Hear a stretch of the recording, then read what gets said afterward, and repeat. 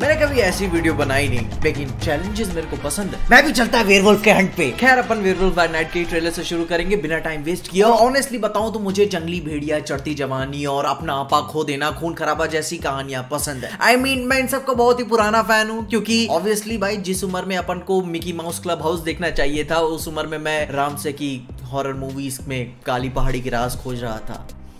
खैर उन सब बातों को फिर कभी याद करेंगे। डिटेल में एक्चुअली बहुत अच्छा आइडिया होगा एक वीडियो के लिए। खैर फिर भी वेयरवुल्फ बाय नाइट को ट्रेलर देखने के बाद एक ऐसी चीज़ ऐसी फील होती है कि मूवी सिर्फ़ वेयरवुल्फ को ही सेटअप नहीं कर रही है।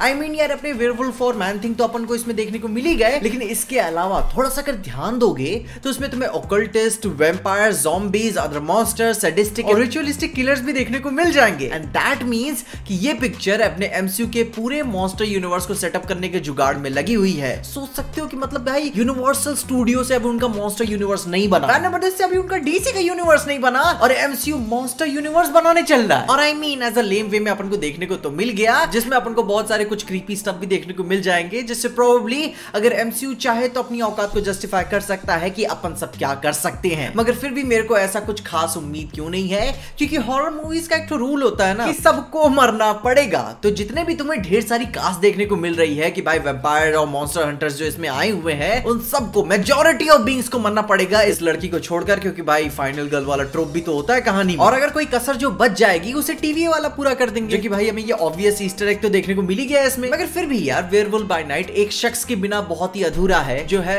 मून नाइट मार्क स्पेक्टर जब तक वेयरवुल्फ को पीलेगा नहीं, तब तक मेरे कलेजे की आग को ठंडक मिलेगी नहीं। थैंक गॉड दोनों का लोगो बहुत ही सिमिलर दिख रहा है तो प्रोबेबली हमें कुछ मून नाइट का छोटा बड़ा रोल भी देखने को मिल सकता है। एंड इसके अलावा, अगर इसकी पेरेंटल गाइडेंस की बात करूँ तो देखो, अभी के तौर पे मैं नहीं मानता कि ये आर रेटेड होगी, वो तो भाई सपने में भी भूल जाना। लेकिन हाँ मल्टीवर्स ऑफ़ मैडनेस की तरह पीजी थर्टीन होने के बावजूद भी काफ़ी सारा वॉयलेंस देखने को मिल सकता है। मतलब कि दी बैटमैन तुमको अभी भी याद है ना कि भाई उसमें एक्चुअल हॉरर्स तो अपन को देखने को नहीं मिलते, लेकिन वो जो इंसान का चिल्लाना, चीखना, छटपटाना, वो सारी चीज़ें सुनाई देती है तो प्रोबेबली वो हो सकता है, मगर फिर भी वो थोड़ा सा बॉडी हॉरर अपन इसमें टीज मिला हुआ है, उसे देखकर कुछ उम्मीद तो कर ही सकते हैं। इसके बाद गुरु लोग अपने सबसे मेच्योर कंटेंट की बात कर लेते हैं सीक्रेट इन्वेजन और मेरे को बहुत ही ज़्यादा खुशी है। क्योंकि भाई मैं यही मार्वल से तो मांग रहा था। और ये देख के काफ़ी अच्छा लगा कि एमसीयू अपने टोन को भूला नहीं है क्योंकि यह है एमसीयू की असली टोन बाकी सब तो बकचोदी चलती रहती है। तो गुरु इसके अलावा एमसीयू फैंस बहुत ही पहले से इसकी स्टोरी वोरी सब सॉर्ट आउट करके बैठ चुके थे। लेकिन इसमें थोड़ा सा अलग सा पर्सपेक्टिव मिला। सीक्रेट इन्वेजन की इस लाइव एक्शन अडेप्टेशन में कॉमिक बुक्स की तरह सुपर हीरो ग्रुप में नहीं बल्कि गवर्नमेंट के भिन्न भिन्न अंगों में स्क्रल्स काफ़ी अंदर तक घुस चुके हैं जो कि आई थिंक वो सुपर हीरो टीम में घुसने से ज़्यादा खतरनाक है। क्योंकि भाई गवर्नमेंट अंदर से खाली हो रही है। और ये कहानी आगे चल के कहीं ना कहीं फ़ेज़ सिक्स की आखिरी एवेंजर मूवी सीक्रेट वॉर्स पे जाके कनेक्ट होगी। अब भाई देखो वो बात नहीं है कि भाई इसका सब्सटेंस कैसा है। बात ये है कि इसे कितनी सीरियसनेस और इंटेग्रिटी के साथ हैंडल किया जा रहा है। आई मीन यार जब वो स्क्रल्स का चिल्लाने वाला सीन आया था मैं तो तभी बिक गया था। क्योंकि जो ह्यूमंस और स्क्रल्स के बीच का इंटरनल कॉन्फ्लिक्ट है वो स्ट्रॉन्ग माँगता था और वो स्ट्रॉन्ग दिया उन्होंने वहाँ पे। फिर उसके बाद भाई सरकारें अंदर से खोखली होती जा रही है जो कि अगर इसे नहीं रोका गया तो पता नहीं आगे चल के ये कहाँ पे जाके रुकेगा। पूरी मानव जाति को डोमिनेट कर सकते हैं। और अब हाँ भाई, जैसा इंसानों में होता है कि भाई डिफ्रेंसिएशन होता है, सब इंसान हरामी नहीं होते, वैसा इनमें भी होगा। लेकिन तुम भरोसा किस पे कर सकोगे? दिस शोज़ की हमें बहुत ही सारे आंसर्स चाहिए इस सीरीज़ से। क्योंकि भाई फार फ्रॉम होम में तो भाई फ्यूरी साहब बड़े मज़े में थे। उसकी बाद ऐसा क्या कैरेक्टर डेवलपमेंट हुआ कि ज़िंदगी झंड वाला सीन देखने को मिला? फ्यूरी ये लड़ाई, लड़ना ही क्यों चाहता है? वो क्यों दूसरों पे एहसान कर रहा है? बाकी सुपर हीरोज की हेल्प उसने क्यों ली? बुढ़ापे में ऐसा कौन सा जोश चढ़ गया है कि भाई बिहाइंड द कर्टन की जगह इसे सामने आकर सब कुछ हैंडल करना पड़ रहा है। मगर उससे भी बड़ी बात, जो कैप्टन मार्वल मूवी में स्क्रल्स के ऊपर बकचोद होने का जो दाग लगा हुआ था, ये पिक्चर एक हद तक काफ़ी मिटा सकती है उसे, क्योंकि ये पिक्चर हमें दिखाएगी कि भाई एक्चुअल में बैड एज स्कल्स होते क्या है। क्योंकि इनकी लेगेसी इतनी बड़ी है कि आगे चल के एमो वॉर्स और सीक्रेट वॉर्स के साथ इंटरगैलेक्टिक बैटल्स पे ही जाके रुकेगी, क्योंकि इसमें वो सिविल वॉर वाली वाइब है, मगर सिविल वॉर की तरह क्लियर साइड्स नहीं है कि भाई Captain America versus Iron Man वाली टीम और मार्वल यही बात तो पूछ रहा है कि तुम किस पे भरोसा करोगे? और मैं भी तुमसे यही पूछना चाहता हूँ